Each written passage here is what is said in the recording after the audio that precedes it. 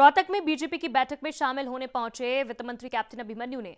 विपक्ष के साथ साथ पाकिस्तान को भी कड़े शब्दों में चेतावनी दी है।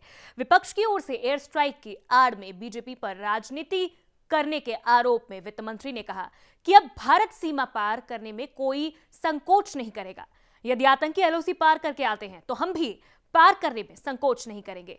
पहले ज़रूरत पड़ी तो थल सेना गई, बाद में वायुसेना। अब ज़रूरत पड़ी तो जल सेना और सभी सेनाएँ जाएँगी। कैप्टन ने कहा कि ये नया भारत तो ये है, और सीमा पार घुसेगा भी और मारेगा भी।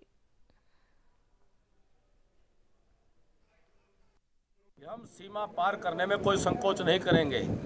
एलओसी हमारे देश की सुरक्षा के लिए आतंकवादी अगर हमारे सीमा पार करके एलओसी पार करके आते हैं तो हम भी अपने देश के आम जन की और देश की अस्मिता की रक्षा करने के लिए एलओसी पार करने में कोई संकोच नहीं करेंगे सीमा पार करने में कोई संकोच नहीं करेंगे।